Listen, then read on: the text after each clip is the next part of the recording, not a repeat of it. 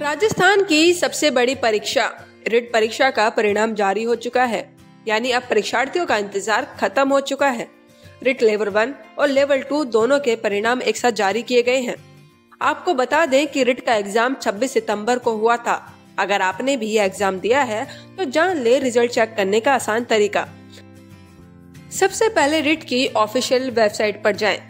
और फिर level one या टू का ऑप्शन सिलेक्ट कर roll number, date of birth जैसी ज़रूरी चीज़ें फिल कर दे और सबमिट कर दे। इसके बाद आपका रिज़ल्ट खुल जाएगा। अगर किसी अभ्यर्थी को रिज़ल्ट से संबंधित कोई शिकायत है तो वो 8 नवंबर से 13 नवंबर के बीच आरबीएसई की वेबसाइट पर शिकायत दर्ज करा सकता है। 13 नवंबर के बाद किसी भी प्रकार का कोई आवेदन स्वीकार नहीं किया जाएगा। आई ब्यूरो।